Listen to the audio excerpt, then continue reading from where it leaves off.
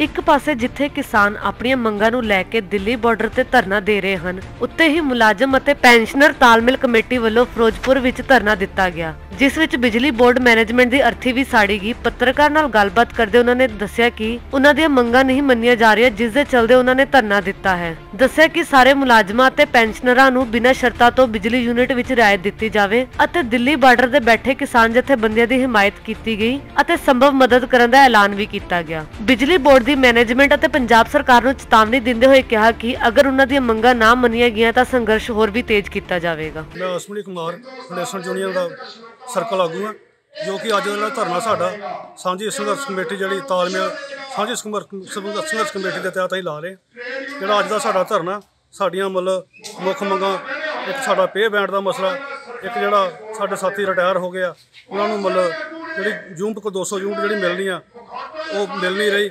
ਔਰ ਇਹਦੇ ਨਾਲ ਨਾਲ ਜਿਹੜੀ ਪੰਜਾਬ ਸਰਕਾਰ ਹੈ ਨਿਤ ਨਵੇਂ ਤੋਂ ਨਵੇਂ ਜਿਹੜੇ ਕਾਨੂੰਨ ਲੈ ਕੇ ਆ ਰਹੀ ਹੈ ਕਿਉਂਕਿ ਲਗਾਤਾਰ ਜਿਹੜੇ ਸਾਡੇ ਦੇ ਜਿਹੜਾ ਸੰਘਰਸ਼ ਹੈ ਉਹ ਮਤਲਬ ਅਸੀਂ ਚਲਾ ਰਹੇ ਹਾਂ ਇਸ ਤੋਂ ਬਾਅਦ ਅਸੀਂ 8 ਤਰੀਕ ਨੂੰ ਜੀਰਾ ਮੰਡਲ ਦੇ ਵਿੱਚ ਅਸੀਂ ਜਿਹੜਾ ਧਰਨਾ ਦੇਣ ਜਾ ਰਹੇ ਹਾਂ ਜੇ ਸਰਕਾਰ ਨੇ ਸਾਡੀਆਂ ਜਿਹੜੀਆਂ ਅਹਿਮ ਮੰਗਾਂ, ਡੀਏ ਦੀਆਂ ਕਿਸ਼ਤਾਂ, ਪੇ ਸਕੇਲ ਦੀ ਰਿਪੋਰਟ ਆ, ਹੋਰ ਵੀ ਸਾਡੀਆਂ ਜਿਹੜੀ ਕਾਫੀ ਅਨੇਕਾਂ ਮੰਗਾਂ, ਜੇ ਸਰਕਾਰ ਨੇ ਇਸ ਪਾਸੇ ਧਿਆਨ ਨਹੀਂ ਦਿੱਤਾ, ਅਸੀਂ ਆਉਣ ਵਾਲੇ ਸਮੇਂ ਦੇ ਵਿੱਚ ਜਿਹੜਾ ਸੰਘਰਸ਼ ਨੂੰ ਹੋਰ ਤੇਜ਼ ਕਰਾਂਗੇ।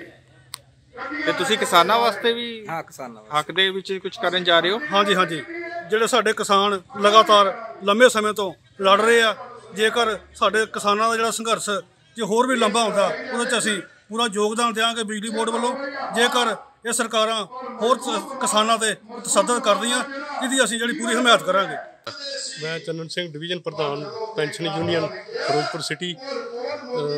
ਅਸੀਂ ਅੱਜ ਸਟੇਟ ਕਮੇਟੀ ਦੇ ਸੱਦੇ ਤੇ ਜੋ ਮਤਲਬ ਅੱਜ ਧਰਨਾ ਦੇਣ ਜਾ ਰਹੇ ਆ ਅਤੇ ਅਰਥੀ ਸਾੜ ਮੁਜ਼ਾਹਰਾ ਕਰਨ ਜਾ ਰਹੇ ਆ ਉਹ ਇੱਕ ਸਾਡੀਆਂ ਜਿਹੜੀਆਂ ਡਿਮਾਂਡਾਂ ਨੇ ਜਿਹੜੀਆਂ ਕਿ ਪੰਜਾਬ ਸਰਕਾਰ ਮੰਨ ਕੇ ਫਿਰ ਮੁੱਕਰ ਚੁੱਕੀ ਹੈ ਉਹਨਾਂ ਮੰਗਾਂ ਦੀ ਦੇ ਸੰਬੰਧ ਦੇ ਵਿੱਚ ਅਸੀਂ ਜਿਹੜਾ ਅੱਜ ਦਾ ਧਰਨਾ ਹੈ ਉਹਦੇ ਵਿੱਚ ਆਪਣੀ ਅ, ਪੂਰੀ ਜ਼ੋਰ ਅਜਮਾਇਸ਼ ਕਰ ਰਹੇ ਆ ਅਤੇ ਮੈਨੇਜਮੈਂਟ ਦੀ ਅਤੇ ਪੰਜਾਬ ਸਰਕਾਰ ਦੀ ਜਿਹੜੀ ਅਰਥੀ ਉਹ ਸਾੜਨ ਜਾ ਰਹੇ।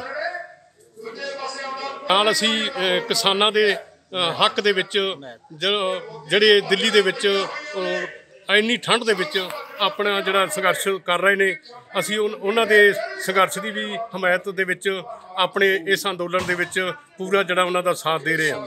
ਅਤੇ ਇਸ ਤੋਂ ਬਾਅਦ ਅਸੀਂ ਜਿਹੜੇ ਪੈਨਸ਼ਨ ਯੂਨੀਅਨ ਦੇ ਸਾਥੀ ਨੇ ਉਹ ਸਾਰੇ ਰਲ ਕੇ ਅਸੀਂ ਦਿੱਲੀ ਵੱਲ ਵੀ ਜਿਹੜਾ ਅਸੀਂ 8 ਜਾਂ 9 ਤਰੀਕ ਨੂੰ ਕੂਚ ਕਰਾਂਗੇ।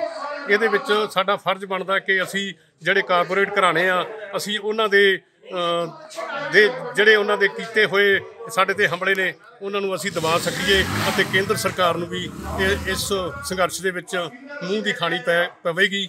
ਇਹ ਇਹਨਾਂ ਗੱਲਾਂ ਦੇ ਨਾਲ ਹੀ ਅਸੀਂ ਅੱਜ ਦਾ ਜਿਹੜਾ ਜਿਹੜਾ ਧਰਨਾ ਰੱਖਿਆ ਹੈ ਉਹ ਉਹਦੇ ਵਿੱਚ ਅਸੀਂ ਅੱਜ ਅਰਥੀ ਸਾੜ ਮੁਜ਼ਾਹਰਾ ਵੀ ਕਰਨਾ ਹੈ।